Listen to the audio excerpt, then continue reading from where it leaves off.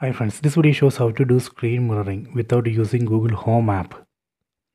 Please don't forget to subscribe this channel. Please like and share the video. Go to settings, search settings icon from top.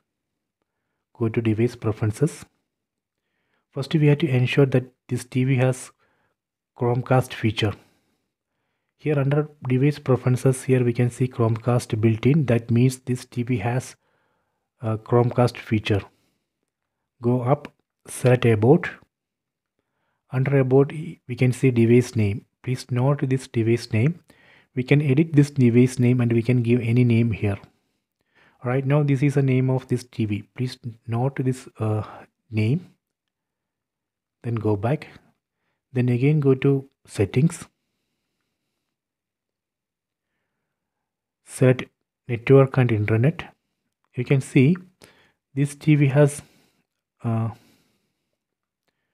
this TV is connected to Wi-Fi network, Wi-Fi 2024. So we have to connect both the TV and mobile phone to same Wi-Fi network or same mobile hotspot. Let me go to mobile phone. In mobile phone, open settings, tap on the settings app icon. Tap on network and internet.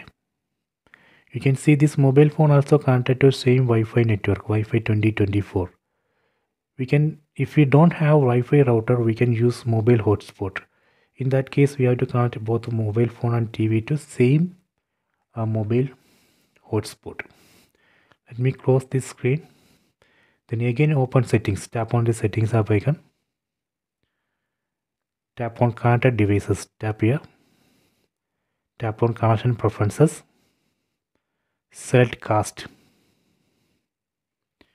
so here you can see this phone has detected my TV. That is why it's showing TV name here. This cast feature of this mobile phone will automatically search and detect Chromecast enabled devices in the same Wi-Fi network or in the same mobile hotspot.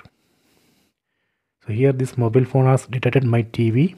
So that is why it's showing this TV name here. Tap on this TV name. Tap on start now